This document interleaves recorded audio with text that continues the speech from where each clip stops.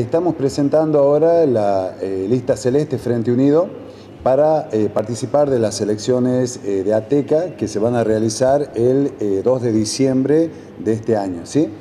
te comento que la lista Frente Unido es una lista que se ha conformado con los principales referentes que participamos en las elecciones anteriores eh, de em, eh, la lista roja, la lista celeste y blanca, y hemos armado un frente para ir todos juntos eh, a recuperar nuestro gremio. Cuando usted habla de recuperar el gremio, ¿qué observa? ¿Por qué tiene que, entiende usted que tiene que haber un cambio de conducción? justamente vamos a recuperar nuestro gremio, queremos recuperar nuestro gremio, por la orfandad que ha sufrido el afiliado, que hemos sufrido todos como afiliados durante todo este tiempo, en cuanto a la defensa del salario, en cuanto a la defensa de los derechos, en cuanto a los servicios, que han sido eh, totalmente eh, nulos eh, en todo este periodo.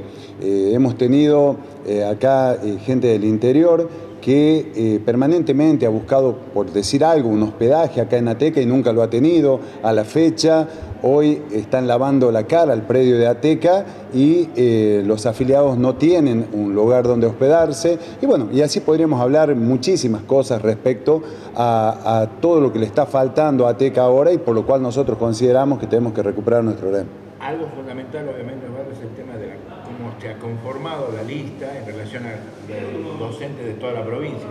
Exactamente, exactamente. Eh, nosotros eh, hoy tenemos eh, acá, por ejemplo, en la seccional norte, como secretaria general, de la candidata a secretaria general de la seccional norte, la profesora Sofía Heredia, que antes conformaba la lista roja, ¿sí?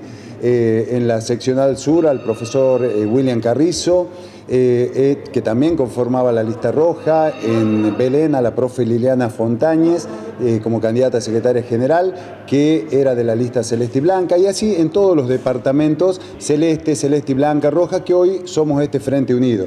Y nosotros, la conformación de la mesa provincial, viene presentada en mi persona como secretario y candidato a secretario general, y el profesor Fernando Acosta de Santa María como candidato a secretario adjunto las colegas acá que me acompañan, la profesora Miriam Calzapi, la profesora María Luisa Cardona, son miembros de la mesa provincial.